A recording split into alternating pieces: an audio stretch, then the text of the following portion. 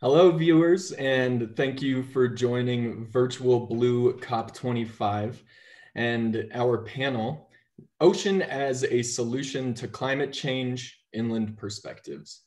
My name is Lance Kittel. I am the Chapter Development Manager for the Inland Ocean Coalition, and I oversee the development and growth of our 15 current chapters throughout the United States. Today, I'm joined by Vicki Nichols Goldstein, Dr. Wallace J. Nichols, and Dr. Joanie Kleypas. Vicki is the founder and executive director of the Inland Ocean Coalition, a group working to increase ocean advocacy in inland regions. Vicki has worked in the nonprofit and ocean conservation field for over 25 years from Washington, D.C. to Santa Cruz, California, addressing a multitude of ocean conservation issues. Dr. J I'm sorry, Dr. Nichols is a scientist, author, speaker, and explorer. He works to create useful words that help fix what's broken in nature and in people. His focus is on water, wellness, and wildlife. Dr. Joanie Kleypas is a senior scientist at the National Center for Atmospheric Research, where she works with climate scientists to understand how climate change affects coral reefs. She also founded a coral reef restoration program in Costa Rica. As countries grow increasingly aware of the anthropogenic effects on our ocean's health, communities are taking approaches to conserve, preserve, and restore our marine ecosystems. Ocean conservation techniques have begun to spread to inland communities, shifting the focus from coastal areas to a worldwide bandwidth. We will explore what inland communities are doing to protect the ocean from the inland. Thank you all for joining us again. I would like to jump into our first question. And this question will dive into a little bit more of the background of our speakers. The question is, our ocean is considered one of the most important resources on the planet. How has your work impacted ocean health and conservation? And we will start with you, Joanie. We will move to Jay, and we will finish with Vicki. So Joanie, please take it away. Thanks, Lance. Um, the work that I've done for the past uh, 30 plus years has been as a scientist. Um, I have studied oceanography in, in many different capacities, everything from ocean acidification ocean warming, but mainly how it impacts marine ecosystems. So I've worked um, mainly uh, at a national climate center here in Boulder, Colorado, very inland state, um, with uh, people that do predictions about climate change to try to understand how these marine ecosystems respond to climate change and how they respond in the future. And so um, I'd like to think some of my work has impacted ocean health and conservation. Certainly that is how I've changed my career over time I started out trying to understand what the changes were, and now we're trying to use the same climate models and oceanographic models to understand where the solutions are. Um, so one of the biggest roles I have in my career is to try to use these models to identify, for example, where we should be putting our conservation efforts uh, to save coral reefs. And I think we'll probably talk about this a little bit more uh, later in the discussion, but coral reefs are one of the most threatened ecosystems we have. And we can't save every coral reef ecosystem from a warming and acidifying planet, but what we can do is try to find those places where they're most resilient and most likely to succeed.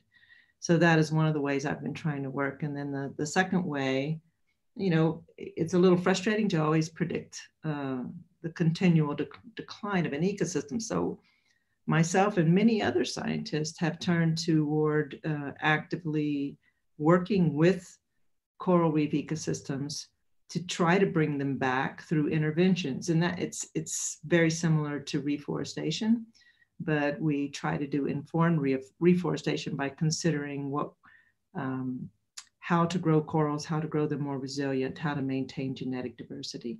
And so um, that's that is how we're trying to impact um, ocean conservation um, from you don't have to live on the, the coast to do that. You can be right in the middle of the continent to be able to do that work.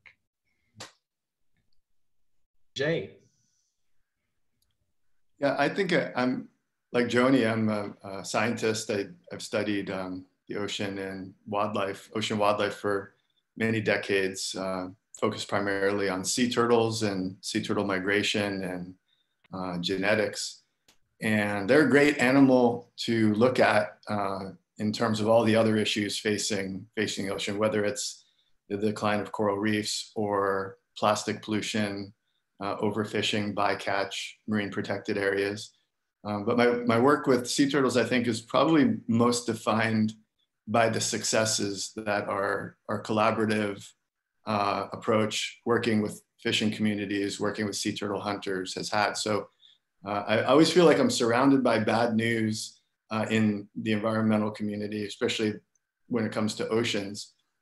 But when it comes to the sea turtle populations that I've, I've worked with, it's very good news. The populations are on the rise. They're surprisingly rebounding. Uh, so there's some great success stories. So I'm really interested in figuring out why some activities and some projects are successful and others struggle and what the factors are. And it, it generally uh, has led me to hang out with neuroscientists and psychologists, uh, a whole different group of scientists, um, not like my fellow turtle biologists, but people who study the human brain and to better understand uh, the, the, you know, the behavior change aspect. And so if you're working with turtle hunters to save sea turtles, you better understand human behavior. Uh, you should also need to understand turtle behavior. And so the last 10 years, I've focused on uh, what is usually referred to as the human dimension of ocean conservation, uh, also of lakes and rivers, and looking at the emotional connection, the science behind the emotional connection to water in general, and how we can leverage that as a, a political force, an economic force, uh, and a kind of an unstoppable way of galvanizing the blue movement. So um, we call that work Blue Mind, uh, blue for the water, mind for the brain. And, uh, and I still work with sea turtles around the world, particularly the Pacific Ocean, and love collaborating with, with my fellow coral, coral reef biologists and nudibranch biologists and everybody who studies the things that, that turtles eat as well. So I guess that's my background. Yeah. Great. Thanks, Jay. And finally, Vicki. Um, I'm an ocean lover that landed inland. So I guess in a nutshell, I've been studying and working with communities on the East Coast and the West Coast, worked for NOAA, really worked on how to engage people, organizations, um, governance, governments, and how to protect the ocean. And then I landed inland and started up the Colorado Ocean Coalition because I really wanted to understand how people inland can really relate to the ocean.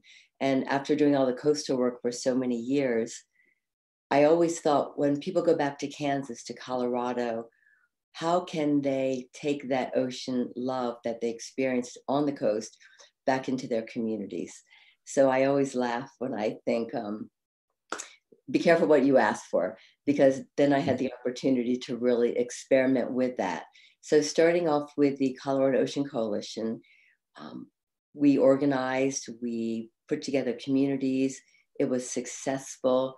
Other communities around the country wanted to also start chapters. And then when we had about a half a dozen, we decided to revamp in 2017 to be the Inland Ocean Coalition.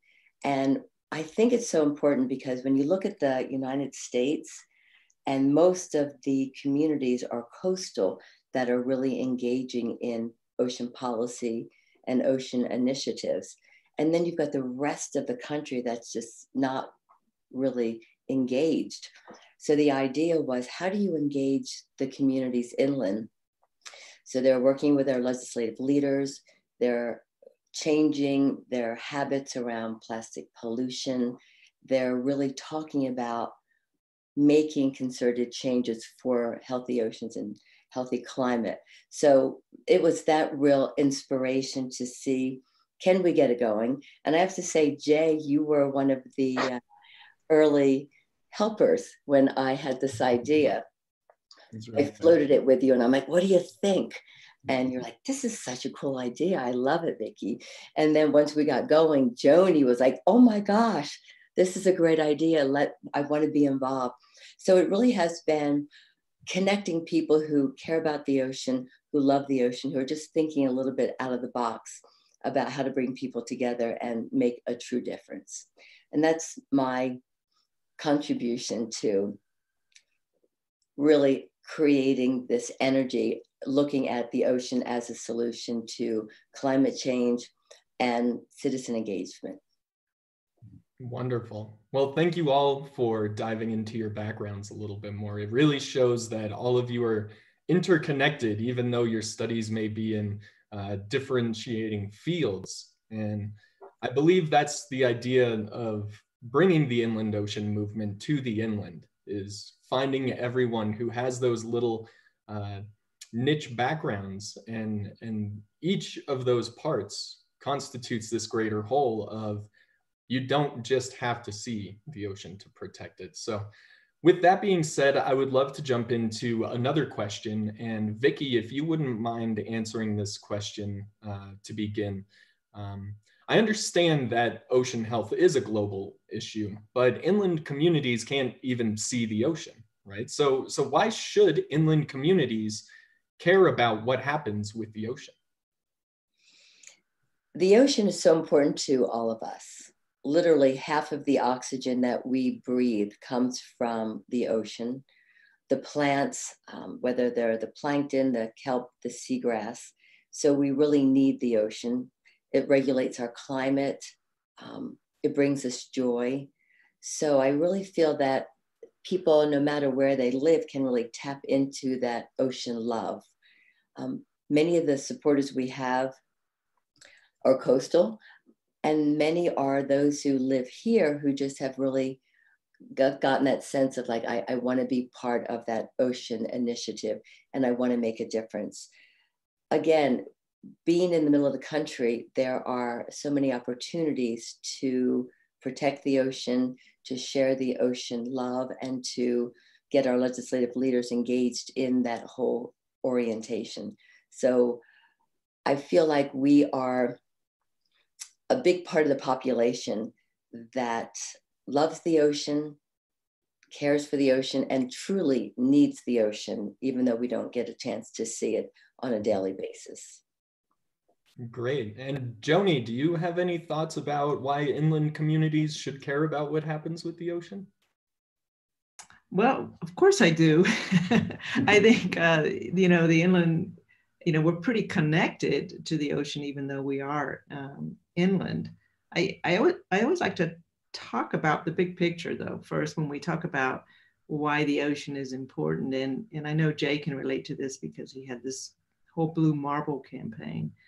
But, you know, our planet is extremely special because of its ocean and its atmosphere, particularly the ocean.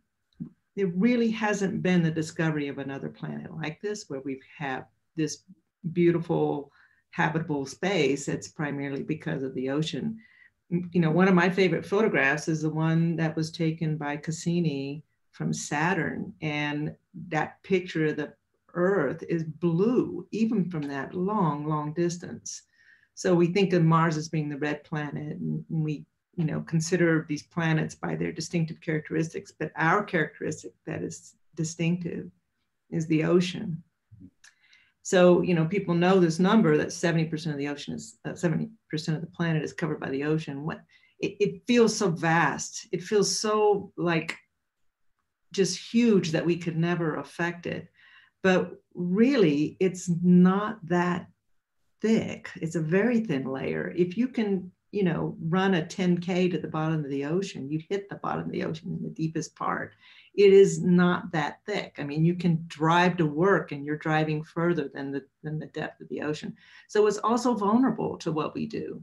So there's there's this preciousness with this blueness of our planet and in the ocean. And so it's um, I think when people think about that, when they take that that mile high view or that hundred mile view of, of the planet, we we do have a sense that is special and that we depend on it because it, it is um, really affecting our climate, our water source. Most of the rain we get comes from the ocean. So even if you live in Kansas, a lot of the, the rain is sourced from over the ocean. So there, there's just uh, a, just innumerable ways that we should value it. But I think it's it's just how, as Jay said in the first question, how do we get people to sort of uh, psychologically think about it that way and to appreciate it?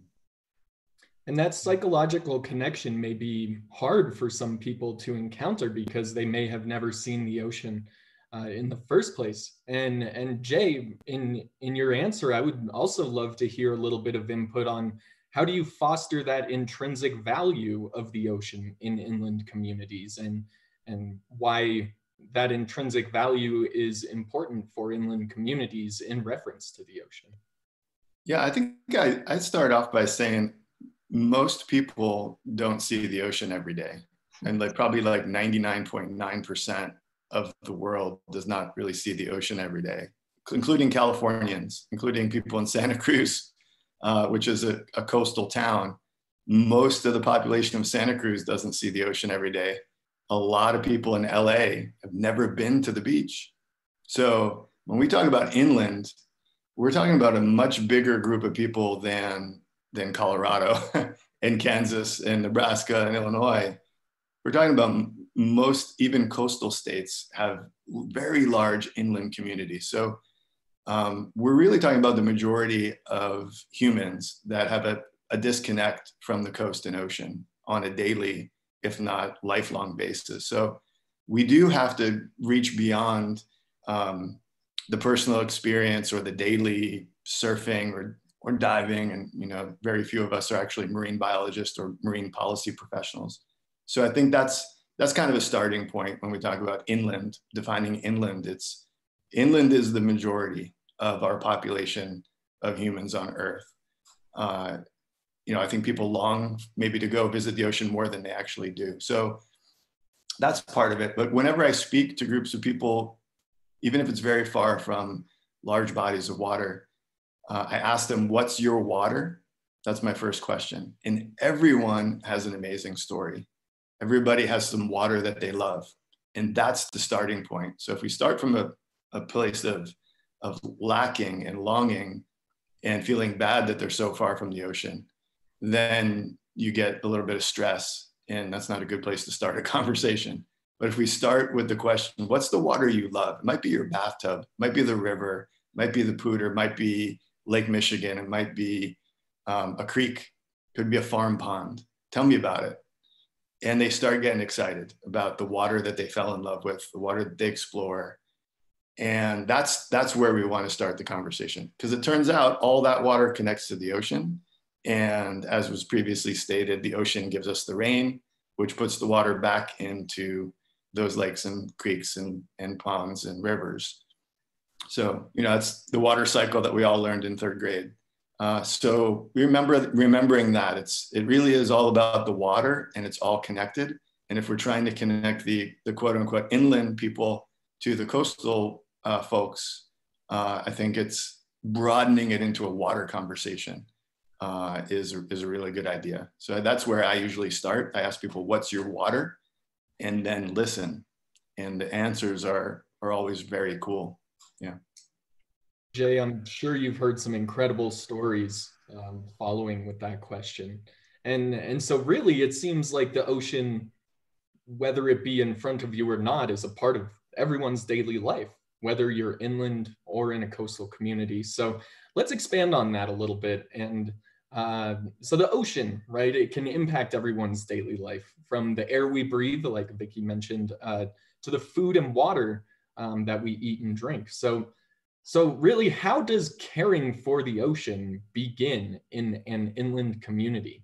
Um, and Joanie, we'll start with you this time. Well, I think Jay hit on a lot of the, the important points is being aware of where your water comes from and where it ends up when you use it. So it's it's where do we fit in in this cycle of, um, you know, our resources, how we take the water from our precious resources, and then what do we do with that water afterwards? So that is a um, an everyday life of. I think people do become aware of that once you point it out.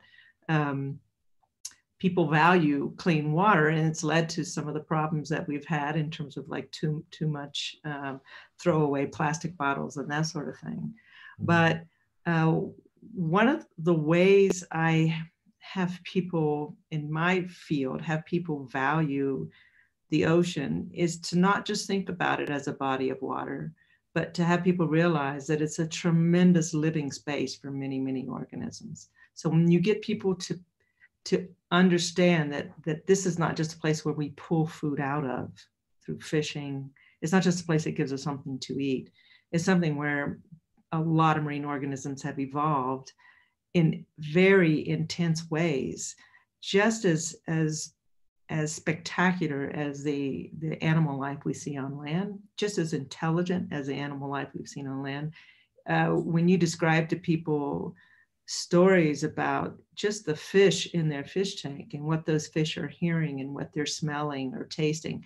Um, you know, if you give them something, a, a, life like the way you think of your dog, then people can relate that this is not just um, something that I use, but it's something that houses a lot of sentient beings. And it, and it, it you know, in my conversations with people, when I speak about the ocean in that way, you can see that they're actually relating more to what's inside rather than just to that big flat surface that we look out over uh, when we get a chance to see it. So those are kind of how I try to break those barriers with people. I, I hope that kind of answers your question, but it, it's a little off the wall, but it is uh, this psychological way that I've learned how to speak about the ocean. Well, and I'm sure that bringing up these these ideas and expanding on it, it really does create that awareness, right? Uh, Jay, do you want to speak more on kind of the the psychological aspect of caring for the ocean from the inland? Yeah, we have a, a, a colleague who's at UC Irvine who studies the science of awe and wonder, these two emotions that we were just talking about.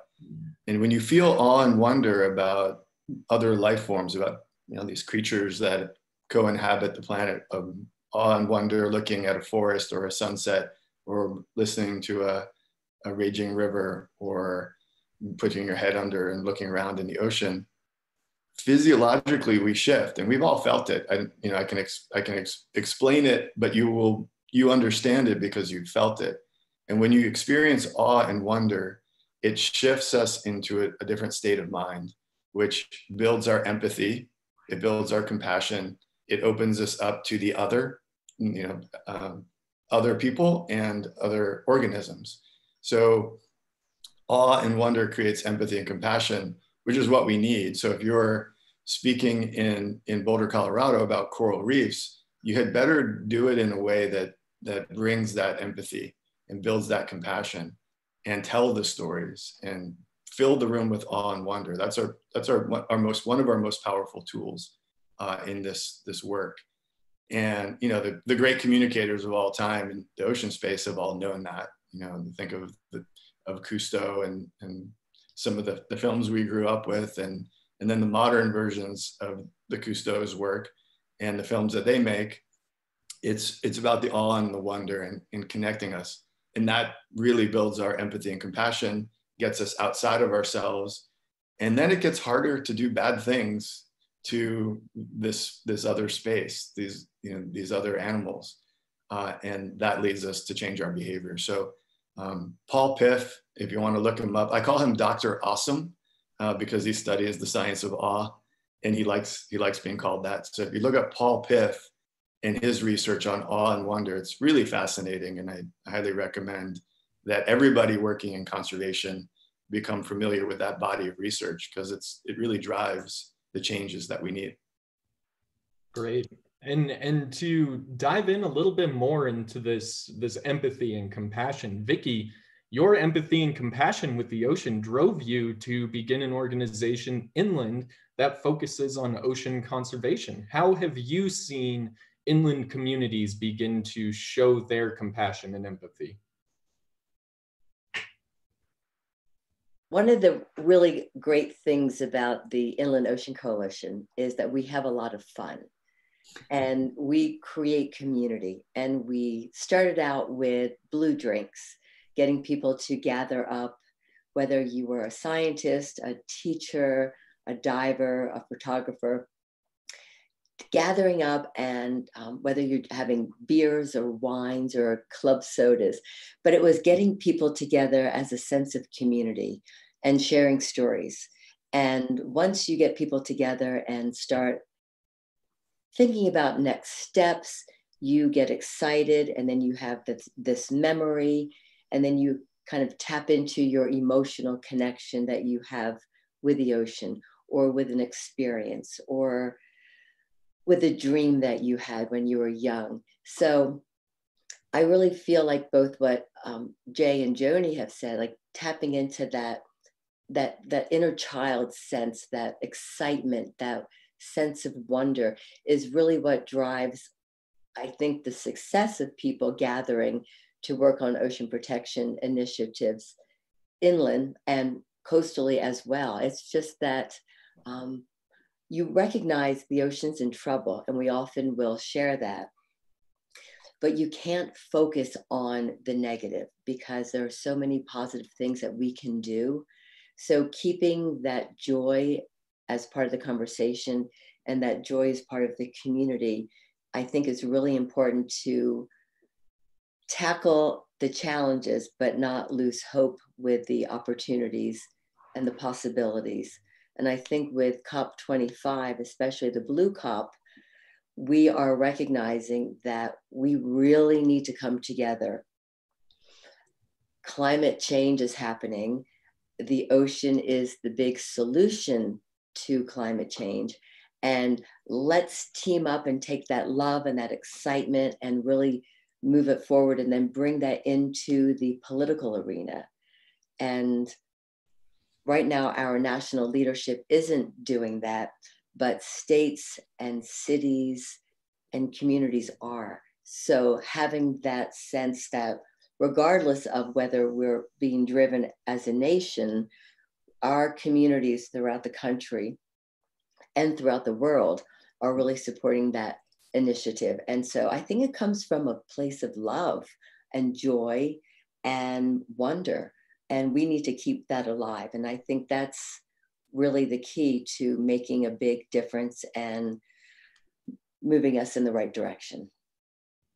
Great. Thank you, Vicki. That's a great answer from all of you. I really appreciate that. And from that, we can see that there's so many different components to uh, creating an awareness about the ocean from inland communities.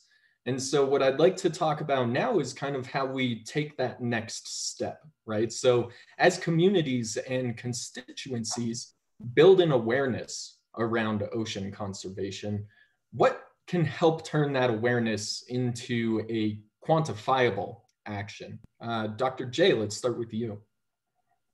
you know, I think one of the simple things that we, we often forget is uh, just to get in the water as much as you can uh, I know as a professional, sometimes you kind of look around, you're like, wow, it's been a while. Uh, I haven't, haven't jumped in the water, in the wild water in a while. Um, and then take someone with you. I, I was just speaking at a, um, the International Surf Therapy Symposium, and there are hundreds of organizations now around the world that, that take first responders, veterans, at-risk youth, a whole range of people who might be sort of suffering on land uh, and in pain, and they get into the water and they surf and they find joy that Vicki was talking about. They fall in love with themselves again. They fall in love with the ocean that helps them heal. And for many of them, they haven't been in the water. So um, it's really, I don't want to you know, make it sound overly, overly simple, but we've kind of, kind of put our heads down in, into some of the nitty gritty, you know, science work and forgotten to keep getting you know, new people into the water so that they have that, that transformative experience. And what we see on the research side is that it is medicine for those who need it most. Uh, it works as well as pharmaceuticals and other kinds of therapies. And you know the long-term clinical research is is being published. So our oceans, our lakes, our rivers are in fact a, a massive public health uh, resource for our emotional and mental health as well as our physical and social health. And we don't talk about that very well. So that's I think that's would be a big thing I, I'm focused on is first of all getting the words right and helping people in leadership positions to use those words, but then to evolve that to legislation. So what would legislation that codifies Blue Mind look like? What if we had legislation that said this healthy ocean is medicine for our veterans and our first responders, and you can't mess it up. And if you do, you're going to pay the price, not just for the ecological and economic damage, but for the emotional damage. That would be interesting. So I think that's a kind of exciting rubber hits the road conversation. Uh, it may not be viable at the federal level in the US at the moment, but places like Australia and, and other, maybe at the state level, uh, it's, it's getting very interesting to sort of expand our, our definition of the value of a healthy ocean um, beyond the economic and ecological to include the emotional health benefits. So um, that's kind of where I get excited these days is those, those sort of big transformative ideas that kind of rewrite the uh, our talking points, rewrite the policy, and evolve our the whole conversation. Great, thanks, Jay. And and maybe to just jump into a little bit of that policy um, point a little bit, Vicki, do you mind jumping in and cueing us in on uh, what do you think can help turn awareness into quantifiable action on the legislative scale? Oh, I love that part of the conversation. Um, I think it's really exciting that we are able to establish chapters in different states in the US. We have House reps and we have senators who are representing all of these states. And unless we can convey to them that they have constituents in that region and the constituents care about the ocean, we're not really going to change policy. So, for example, we have Senator Cory Gardner in Colorado, who is the chair of the Committee on Oceans and Weather. Getting him involved, which is a bit tricky, but working with his staff and meeting with him on a regular basis and nudging him to say, You have this committee you've got to take some responsibility and you have to start working on these issues is absolutely critical because he's one of the most powerful people in the country right now who is chairing this committee on that will really dre- address oceans and climate.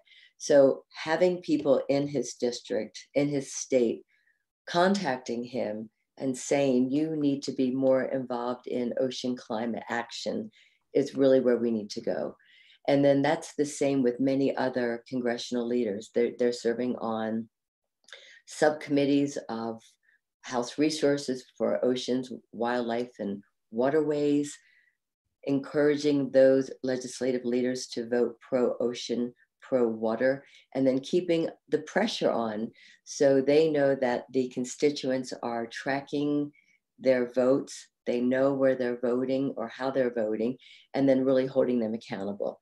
And so I think legislatively, we have a huge opportunity to nudge our leaders to do the right thing now while we still have time, and then make sure we let them know that we are tracking their votes and can either thank them or say, you need to do a better job. Wonderful. And Joanie, you come from quite the the hard science background, right? And a lot of your work is involved with um, the behind oceans. And I'd love to hear your perspective of um, how can we turn our awareness of these ocean issues into quantifiable action? Well, I, I really can echo what both uh, Jay and Vicki have said, and kind of combine those two. I mean, um, I've done some testifying in front of Congress myself.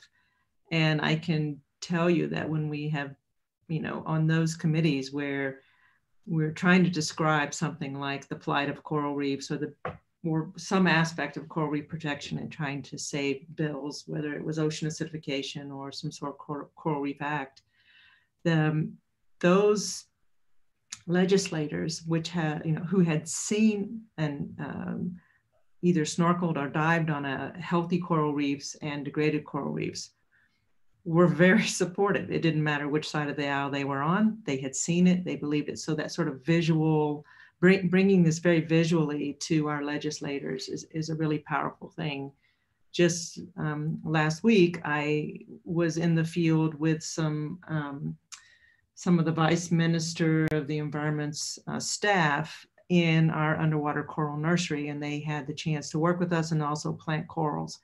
That is life changing. Not every, we can't do this with everybody, but they were extremely supportive of this sort of hopeful solution and legislation to do that. So sometimes, you know, you have to work with legislators and put pressure in the way that they're used to, which is which is basically um, you know, how are they going to maintain, you know, the support from their uh, own communities and, and stay in office and be able to pass uh, meaningful legislation that they can get credit for. But uh, also, I mean, they're human too. They're human just like us. And so being able to appeal to to them in a very uh, sort of visual way, I think is really uh, important. From the other side, when you're working just as Vicki has done with the Inland Ocean Coalition, or just with whoever your communities are, to just get them really excited about something, to, to push for legislative change or to push for some sort of change in their own communities to reduce plastics, reduce water waste, whatever it is, uh, it is very powerful from the bottom up. I, have never known how to be the most effective, whether you go straight to the people making the, the laws or you really motivate people from underneath. I've never had a really good answer to that question. Maybe one of you two do, but I feel like it's like it's always a juggling act of where you put your energy, but they're both necessary. You can't do one without the other. And so I give kudos to people like Vicki and Jay that are trying to push these kind of changes because I know they're very familiar with that problem. Great, thanks, Joanie. And and we can see that there's many different ways for communities to turn um, an idea into an action, right? And at this point, what what do we have to lose, right? We, we can all make that difference. We can all make that movement, um, but it only takes the first step. So. At this point, I'd like to shift us a little bit away uh, from the topics we've been covering um, and dive into a new idea, right? So a recent report, the special report on the ocean and cryosphere in a changing climate, also known as SROCC, brought forth evidence that the ocean and climate are interconnected. Now, coming from all of your different backgrounds, is this the first evidence that shows that our climate and oceans are connected? Uh, Vicki, let's start out with you. No, this is not the first report, but what it has done, it basically said the ocean is taking the heat. So it has really confirmed that the ocean has really been a bigger player than most of the public has been aware of. Um, the ocean is heating up more. It's becoming warmer. It's becoming more acidic. Uh, there's less oxygen in the ocean. And it's happening a lot faster than we anticipated. So it really was more of a wake up call that it's happening now. And I think many of the scientists, as most scientists are, are very conservative. And when the data came out, that it's like, no, it is happening now. We have to get on this. We're running out of time. We've got to really take this seriously. Um, it it shifted the perspective of many people to recognize that it's not just a climate issue; it is a serious ocean climate issue, and we really need to focus on the ocean as part of the solution. Great. And Joanie, I'm sure that you've seen evidence of this connection uh, before, but have you uh, really stumbled upon anything that points out these these facts as clearly as as SROCC does. Uh, I I think the the SROCC report was um, it really is a, a, milestone in terms of, of making these connections. Um, I work at a climate center. I mean, in an oceanography section, and this is what our group does day in and day out is study the, the physical and chemical interactions between the ocean and the biosphere. I mean, the, um, the ocean and the atmosphere and the biosphere. And it's, um,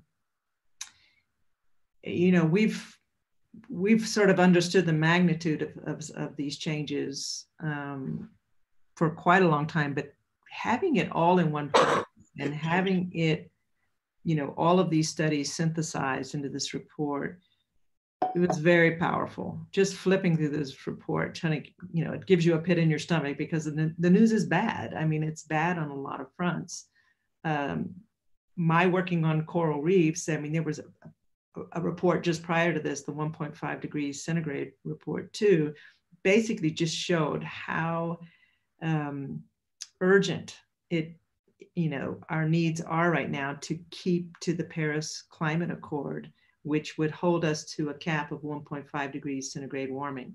Even going up to two centigrade, two centigrade degrees warming was is a uh, a huge impact on coral reefs. It, it at 1.5 degree, we still have hope to save, you know, a, a few coral reefs. At two degrees Celsius, then we, we start exceeding any capacity to, to keep those reefs around. So we are at this sort of threshold point where we have to do a lot to prevent further damage. But, um, but what this report shows is that it's really worth it to uh, do everything we can to keep climate change in check. And so uh, that's goes, as Vicki mentioned, with warming, with ocean acidification, and with ocean deoxygenation. Those three triple problems in the ocean are, are really going to affect our, the ocean biology um, and ecosystems in profound ways, ways that we can't even predict. And Vicki's right. We've always been very conservative. We don't like to overstate the problem or to come off as alarmist. And I think in this report, uh, I think yes, the scientists finally said this this is looking bad. We're we're going to you know the evidence is there, the observations are there, and the predictions are there. So there's no argument that that the ocean is a is a huge um, factor in climate change, but it's also a, a huge um, recipient of all the insults associated with climate change. So that was that was wh- where I put that report. And the authors, uh, I, I, highly respect them. Um, I've known them personally, and they've they've really done a, a beautiful job of pulling this together. And it's hard; it's a Herculean task to pull something like this together and get everyone to agree. Great, thanks, Joanie. Jay, what's your take on this latest IPCC report? I know that the science is there, but do you believe that the psychology is there? Yeah, I think what we're starting to see is um, more uh, climate communicators and more ocean communicators are hanging out with people who study behavior, human behavior and learning, you know, the, the best ways to communicate this, these kinds of um, heavy, um, heavy pieces of news, uh, you know, dire predictions. Um, I think what what was real clear to me is that this isn't a um, we're not kicking the can down the road anymore. Like it's now. This is we're, we're in it. The changes are happening. Um, we're we're not in a you know a, a 50 year wait and see what happens kind of time horizon. Um, we need to mitigate and adapt while we uh, switch our behaviors while we move to cleaner ways more sustainable ways of making a living on our, our water home. And that that um, isn't, isn't just about, you know, panicking and voting and changing your light bulbs. It's, it's deeper than that. It's, it's kind of getting back to kind of who are we? What are we made out of? Um, just telling a, telling a bigger, better story of what it's, what it means to be a human being here on this little blue ball, uh, this little blue marble home of ours. Um, that's mostly water. We're mostly water. Um, that's you know that's a big task, but I think that's that's part of it. You know, we're it's a new stage. New the science is clear. You know, we're we're going to see some changes. We're going to lose places and animals that we really care about. Um, parts of our communities are going to be underwater. But with that, there are the, all these opportunities uh, ahead to, to live differently.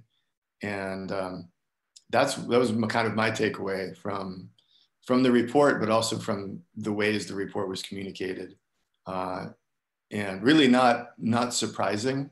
Um, if you've been paying attention to the role of the ocean in climate for the past several decades, um, it's not it's not big new news that you know our, our climate is the same. You know, it's synonymous with the ocean.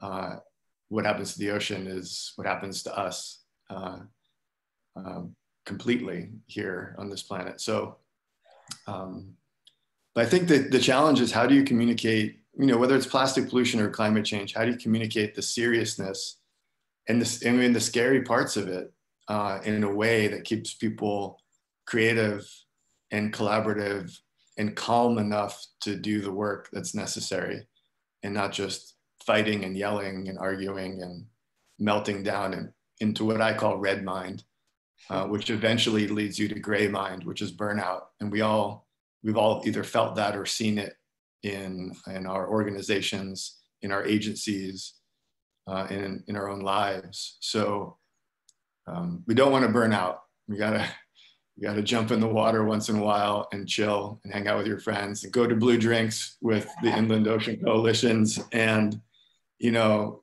recharge and reset. Uh, I think that's a key point. You know, for anybody who's listening to this, you're probably fairly well informed. You know what's at stake. We're not here to convince you that you know we have an environmental set of crises. Um, but stay strong. You know, stay creative, stay calm, uh, fight for sure, but also love. And I guess that's that's always my big reminder: is don't burn out. Please don't burn out, especially if you've trained yourself for 30 or 40 years to be as good as you are at this stuff. We can't afford to lose you. So um, keep your head in the game. Yeah. Great. Thank you all again for your for your um, answers and your opinions. These are all really valuable, um, not only in the process of sharing and storytelling, but in advancing the topic of the inland ocean movement. Right? It's not just a coastal issue anymore. We know this through science. We know this through psychology and connection. The ocean is each and every one of us, whether we like it or not day in and day out. So uh, at this moment, I would really like to take uh, just a couple of minutes to answer some of the questions that have been submitted during our panel discussion. And the first is about how, how concerned are people in the inland? I mean, obviously, we all share a passion for ocean, uh, its health conservation, but but how how do communities um, express this? Are, are they concerned? So, so Vicki, again, we'll start with you. Have you have you met people who are concerned about um, the ocean from inland states, and and how do you overcome that if if they're not? Oh, we have lots of concern. Yeah, um, I don't want to sound, I don't want to lighten up the topic, but we just had a masquerade mermaid ball a few weeks ago, um, we had a couple of hundred people attend, and we had all of the messages around the the room. You know, plastic pollution. We had mermaids. We had things that people could do. We had a message in a bottle where people could actually send a letter to their legislators. So yes, every day, whether people are coming to our events or they are emailing us, they are concerned they want to get involved, they want to do something positive. And I think that there is a lot of emotional connection that we've been talking about um, this, this last hour.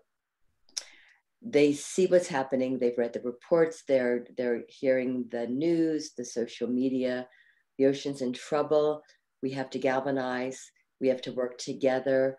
And I think the positive message is coming out that it is not too late. Like, we're not going to grow up, my kids are not going to grow up with the same ocean that I grew up in, right? Like, right now, I used to go fishing with my pop up for weak fish and off the coast of New Jersey. And I read recently there are no more weak fish off the coast of New Jersey. They're moving. So it's going to be different. And I think it's really important that we talk about the challenges, the changes, but certainly the opportunities for engagement and to really step up and take your interest, your passion, and do something positive with it we have a lot of possibilities. And so keeping that hopefulness, I think, is really critical. Um, but yeah, back to the, the question sure, people are really, really concerned. They want to get involved. And that's why we now have 15 chapters in the US because people want to get involved and want to try to find some ways to engage themselves and their community. So it's good. Bad news, good news, moving forward. I I really have a lot of hope. Wonderful. And and Jay, you've mentioned a lot about just how using words can really transform someone's idea on the ocean. Can you elaborate on that? And have you used words to overcome some of these boundaries? Yeah, you know, I think I think what we our our tendency in the past was to kind of rely on a different set of emotions, maybe the you know to galvanize people around fear, and guilt, uh, maybe anger, and then a, a, heap of factoids. And what the science suggests is that that doesn't work. Um, that toolkit is ineffective. It will move the needle, but it'll in, in a sprint, but it's not sustainable. It does. You don't base a movement on fear and guilt. You, as Vicki pointed out, you base it on love. That's what's sustainable. It's always been the case. Um, so that's i think you know, reframing the conversation you know in building the blue movement around the things that work and the optimism um, look at the the best advertisers you know that you whatever comes to mind for you the best ads that you think are most effective they're probably not about fear guilt and anger uh, they're probably about more positive things and so if we're if we're going to build a successful movement I think we need to do that. I would also say that we need we need to hear from the inland voices because um, we haven't fixed these problems. We haven't solved many of them. It keeps getting kind of worse. So whatever we're doing and whoever's doing it, uh, including myself, um, you know, I guess no offense, but it's not really working that well. We need we need new ideas. We need young voices. We need inland voices.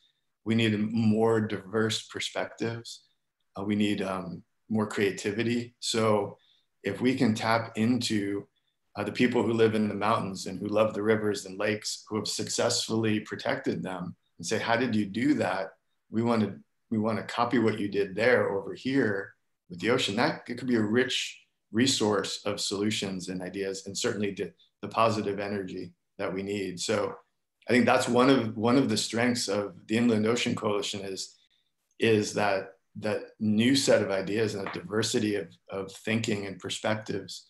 Um, I got my PhD at the University of Arizona studying sea turtles, so I, I kind of know what I'm talking about here. Uh, being in the desert studying sea turtles, everybody was like, that's weird. But I learned so much from desert ecologists about the work that we were doing in Mexico with sea turtles.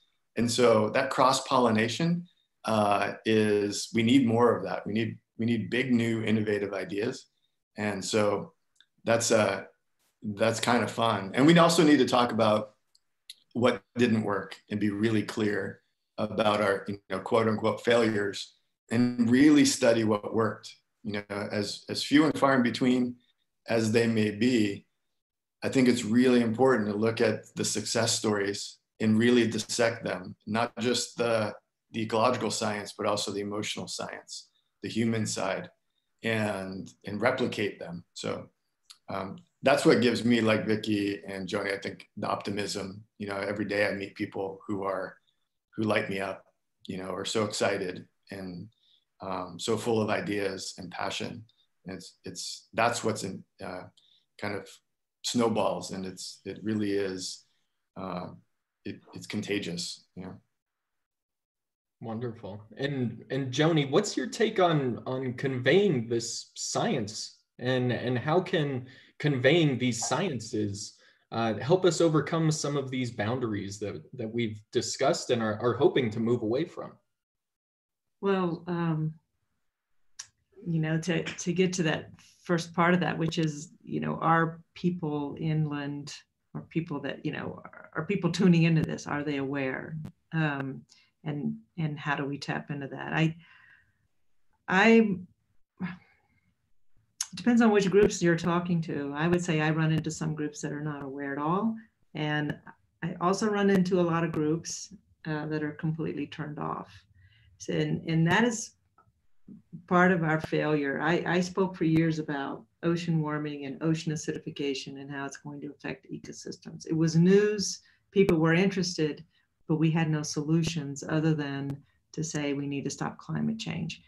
So we weren't giving people anything um, to do except write your legislator or whatever. We weren't really giving people much um, to do, at least in my circles, we weren't. Uh, we weren't giving them solutions. We weren't coupling the problem with some sort of way to have a solution. And about five years ago, I started talking about some of the work we were doing with with restoration that was a huge surprise i never even had to mention climate change people that did not even like say believe in climate change were listening because they were eager and hungry for a solution that would maybe it makes them feel better that somebody's trying to do something but a lot of those people also volunteer and want to be part of the solution and in no time, those people are then receptive to the message of climate change. It's it's a really was a very interesting discovery for me to find that communicating climate change was actually through a solution, even if it was a minor solution, something that people get, get, get excited about. And so, you know, when I'm on the plane or anywhere, you never know who you're going to talk to. And when you, when, you know, I can remember talking to people and telling them how bad it's going to be. And it, it, you, Jay's right, you go nowhere with that. But talking about this cool project that you're doing, whether it's what Vicki is doing with the Inland Ocean Coalition, some of these cool stuff that they're doing, or Jay working with sea turtles, um, and the success story, say, you know, having a success story about this, the sea turtles or anything, those little steps just can flip one of those minds that have turned off into, I want to be part of the solution. I really see this with younger people a lot. Uh, it is amazing. And giving them a vision that, I mean, they, they know that things are going to get worse, but giving them a vision that actually things can get better. And, you know, we're going to continue to see climate change accelerate for the next 20 or 30 years. But if we can stick to low emission scenario, and we can start doing things to help these ecosystems bridge through this sort of tough period, they're going to start th- seeing things get better.